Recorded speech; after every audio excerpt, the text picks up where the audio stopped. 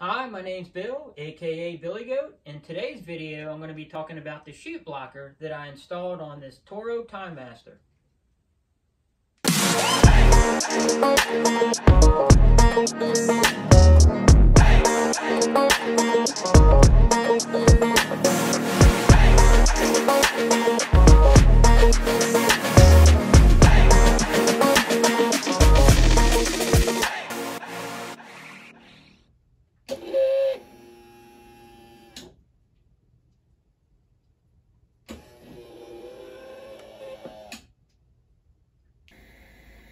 All right, it's been four years since I've uh, installed these uh, chute blockers on uh, all my uh, finish mowers. Uh, I have it installed here on this Toro Time Master. This is a a 2021 uh, model, and I also have on this Ferris FW15. I have a chute blocker installed, and this Time Master as well. This is a uh, 2017 uh, model and I also have uh, chute blocker installed on my Scag uh, 36 uh, walk behind mower as well.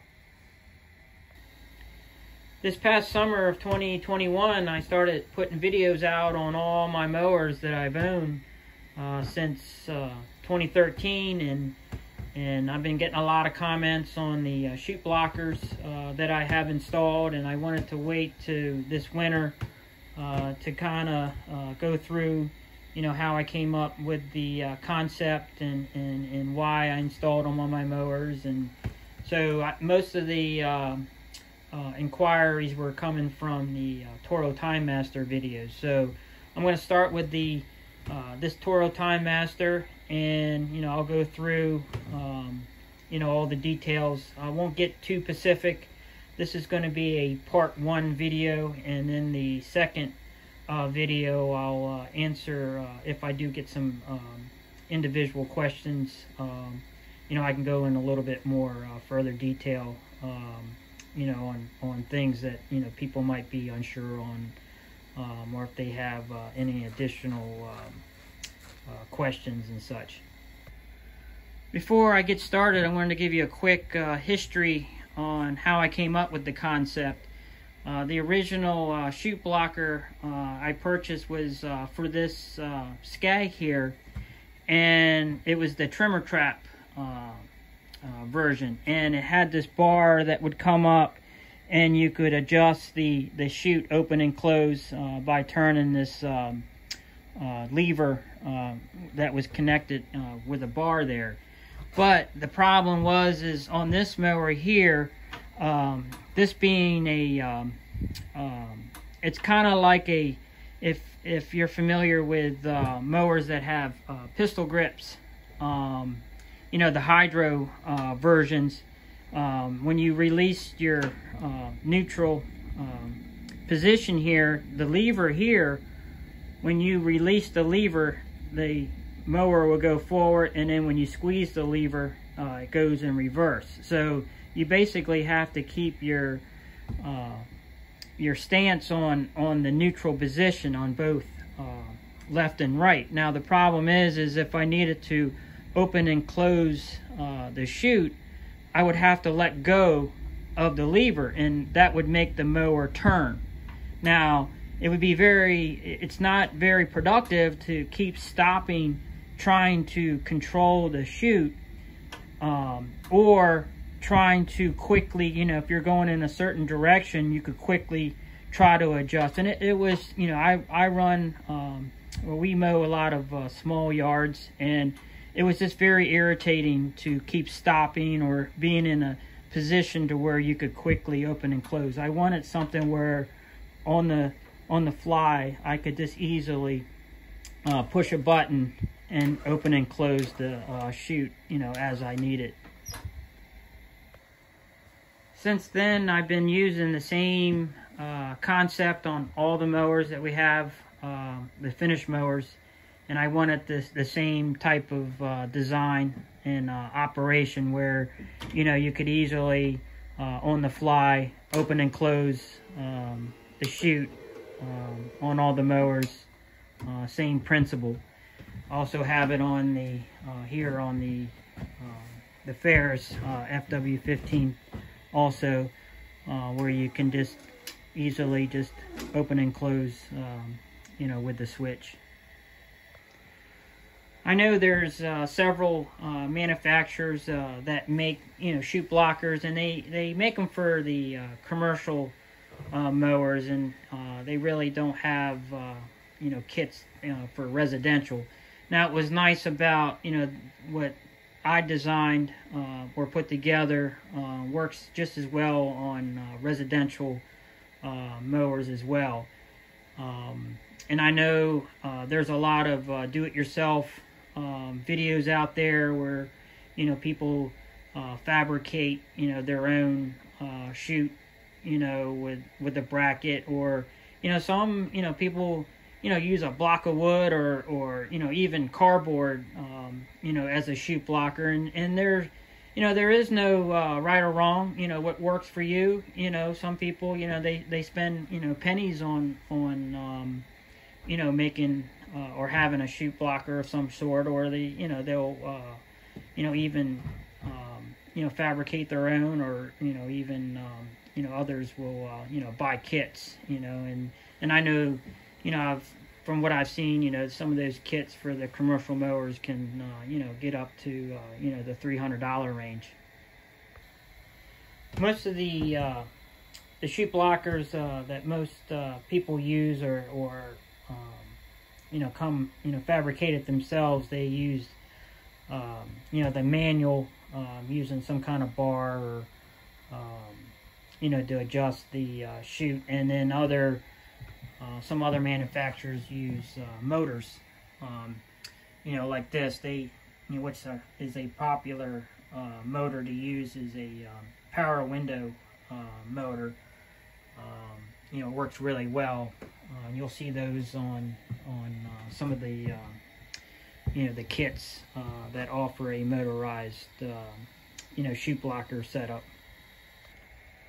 The motor I used uh, on the Time Master is actually a um, it's a little 12 volt uh, motor that if you did if you googled it um, if you put a barbecue grill motor you would see a um, uh, you know, they have several type of motors that they have for different grills, but you would see something that um, the one I got kind of resembles uh, this. And what's nice about this uh, particular one is it, it comes with a um, a mounting bracket, and I just mounted it, um, you know, right on the plastic piece um, for the um, you know discharge uh, that goes into the the bag.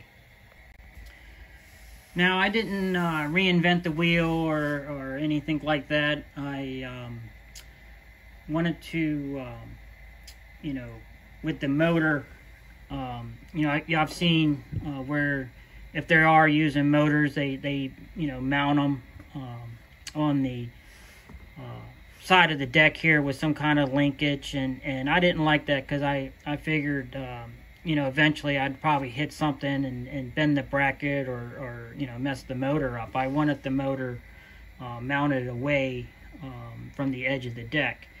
But I wasn't sure what I was going to originally use to connect, um, you know, the motor to the, um, to the, uh, I guess it's the, uh, the flat part here. And for some reason I, I um, you know, came up with the, uh, using a uh, flexible um, extension um, for for socket wrenches, and that's all it is. Is you can get them uh, on eBay or Amazon or your you know local um, you know automotive, and I'm sure you know other places you you can find these in, in different sizes. And um, if you can't you know fit your size just right, you could always you know cut this and and weld on a um, you know, socket, you know, to, you know, make a, a custom size there. Now, of course, if, you know, if you don't want to be, you know, dealing with any, uh, you know, electrical issues or, you know, trying to figure out how to, um, you know, get the motor and the switch and all that. And, you know, you can easily, uh, you know, use a uh, swivel and, um, you know, pop a swivel on there and and you know use a you know rod and pretty much uh, mount it like like they would um, you know on the commercial view uh, mowers and, and uh, you know have a bracket here and you know easily you know open and close the um, you know chute that way now as far as the electrical uh, portion of it um, this mower uh, model here is the uh, recoil, so it doesn't have a, um, a, battery start. Now, if you had a battery uh, start version, um, you know, it would be nice, you know, you can, you know, easily connect the uh, power uh, off the battery. Now, since this is a recoil, I had to come up with a um, some kind of, um, you know, battery system. So, um, so what I did was uh, underneath the uh, handlebar here, I have a, um, I made a, uh, like a battery pack. Um, this here is just a, um, it's actually a, a cigarette, waterproof cigarette case, and I put the, the lithium batteries in there. If you take these batteries here, in the next video, if, if people are, um, you know, want to know more about the actual, um, you know, the, you know, how to make these, um, you know, battery packs, um, if you don't have a uh, battery, um, you know, uh, starting uh, system, uh, you can make your own battery pack. And you, you can really use any, any battery pack that, that produces, uh, you know, 12 volts. So it's, it's not really, uh, you know, you have to make it. You can always, um, you know, find a uh, battery pack. But I really like this because it's it's rechargeable. And what's nice is um, I really only have to charge it, you know, once uh, once every couple weeks because um, it doesn't take a lot of um, you know power to um, you know to open and close the uh, chute. So, and as far as the switch here, um, the switch is a um,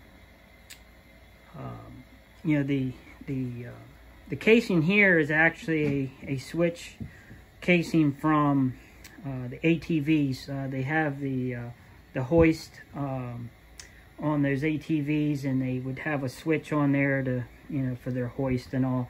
I used that um, casing, and then I bought a um, this type of switch here. It's a what they call a uh, double double pole uh, double throw. Um, and then again, um, you know, I'll explain, you know, how to wire it up and, and, and such. But I, I, just wanted to give you an idea of, um, you know, the basic uh, components and, you know, how I uh, ran the wire. So one, it has two wires coming off that, that switch. Um, one goes to the battery pack and then the other uh, goes down um, you know, runs along the, the handlebar there and comes down and there's a, uh, a quick disconnect, uh, you know, for the motor. So I try to make everything, um, you know, accessible, you know, easy accessible as possible. And I wanted, um, you know, connectors put in place so if I needed to, you know, replace anything, I could do it very quickly and also you know you know troubleshooting uh, purposes so if the motor went bad i can just you know you know pop on a new motor um, and if the switch or something went bad i can just you know replace the switch or or if the battery pack um, you know something um, you know where it, you know stopped uh, having it you know if it had issues or something i could uh, easily uh, replace the uh, the batteries or the uh, whole battery pack. Alright, so that's uh, that's it for this uh, first part of the uh, video, and I'll wait, um, and you know, hopefully, you know, if I get some comments or questions, um, you know, I'll um, you know expand on those, and I'll you know putting another video together, um, you know, explaining the um, you know how I you know actually wired it and um, you know the the size of wire and and um, as far as the uh, you know where you know I get the switches and um, you know all the little uh, parts um, but it mainly from uh, eBay and Amazon. Um, and then you know I've I've gotten stuff from you know local um, automotive uh, you know stores as well. So you know I've got a um, you know variety of, of parts and, and such. So um, you know I'll uh, you know put that video together um, if anybody's um, you know if I get enough responses to you know justify uh, you know making a another video on it. So I appreciate you watching, and um, you know I look forward to you know getting some you know good comments and um, you know even even suggestions to you know to make it even better. So alrighty, I'll uh, I'll catch you in the next video. See ya.